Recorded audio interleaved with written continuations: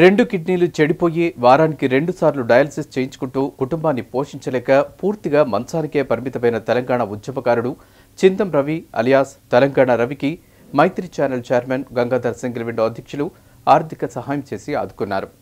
మైత్రి ఛానల్లో తన కథనం రావడంతో పాటు దాతలు ముందుకు వచ్చి సహాయపడ్డారని ఈ సందర్భంగా రవి తన ఆనందాన్ని మైత్రి ఛానల్ చైర్మన్తో పంచుకున్నారు. సుమారు లక్ష రూపాయల ఆర్థిక సహకారం అందేలా కథనాన్ని ప్రసారం చేసిన మైత్రి న్యూస్కి ఆ జన్మాంతం రుణపడి ఉంటారని ఆనందం వ్యక్తం చేస్తున్న వైనంపై మైత్రి న్యూస్ రిపోర్ట్.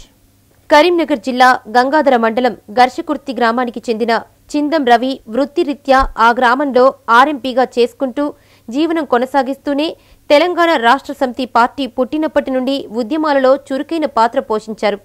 కానీ హఠాత్తుగా విధి పగబట్టి రెండు కిడ్నీలు చెడిపోవడంతో పూర్తిగా మంచానికే పరిమితమయ్యాడు. ఇలా కుటుంబ పోషణ కూడా భారమై పూర్తిగా అనారోగ్యానికి లోనయ్యాడు. ఇటు రెండు కిడ్నీలు చెడిపోవడంతో వారానికి రెండుసార్లు డయాలసిస్ చేయించడానికే ఉన్న డబ్బులు పోగా బంధువుల దగ్గర అప్పులు పెరిగిపోయాయి. తెలంగాణ ఉద్యమంలో చురుకైన పాత్ర పోషించి రాష్ట్ర సాధనలో తన వంతు పాత్ర పోషించిన చిందం రవి అలియాస్ తెలంగాణ రవి యొక్క దీనగాథని విన్న Maithri channel chairman Gangadhara single window అధ్యక్షులు కొత్త జయపాల్ రెడ్డి తన అనుచరులతో కలిసి వెళ్ళి చిందం రవిని కలుసుకున్నారు. రవి ఆరోగ్యం గురించి వాకపు చేసి అతనితో సుమారు అరగంటకు పైగా చర్చించి పదిహేను వేల రూపాయల నగదు సహాయం చేశారు.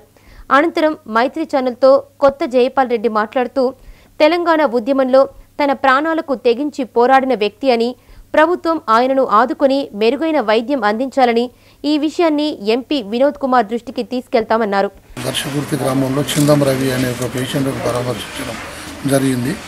యాక్చువల్గా తను టీఆర్ఎస్ పార్టీ మొదటి నుంచి టీఆర్ఎస్ జెండా మోసిన మొట్టమొదటి కార్యకర్త చుప్పదండి నియోజకవర్గం గంగాధర మండలంలో.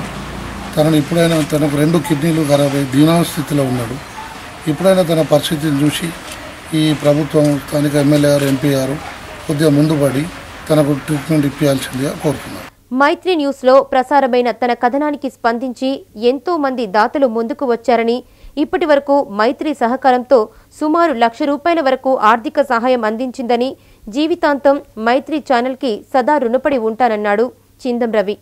మైత్రి ఛానల్